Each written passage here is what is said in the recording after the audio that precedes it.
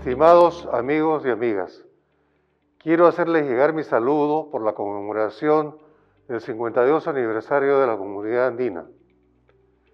Para el Perú, que en julio próximo cumplirá 200 años de vida independiente, la integración latinoamericana ha sido históricamente una prioridad de nuestra política exterior. Esa aspiración nos motivó en 1969 a promover y suscribir el Acuerdo de Cartagena que generó un proceso de convergencia económica y social entre los países de la región andina, dando como resultado una zona de libre comercio que brindó oportunidades a nuestros empresarios para encontrar nuevos mercados subregionales. En la actualidad, nuestra organización sirve de plataforma de internacionalización a pequeñas y medianas empresas cuyo crecimiento y consolidación generan desarrollo y empleo en nuestros países.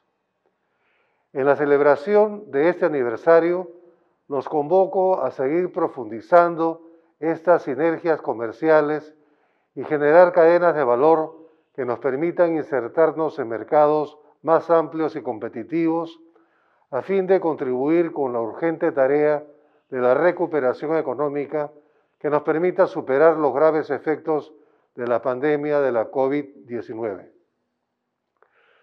Hoy la comunidad andina responde a los desafíos actuales de nuestras sociedades a través de iniciativas en la protección del medio ambiente, la lucha contra la minería ilegal y los avances en materia migratoria, con la finalidad última de mejorar la calidad de vida de nuestros ciudadanos. Por ello, en este 52 aniversario, considero oportuno renovar nuestro compromiso de brindar beneficios tangibles a nuestras poblaciones a través de una comunidad andina cada vez más eficiente y al servicio de todos. Muchas gracias.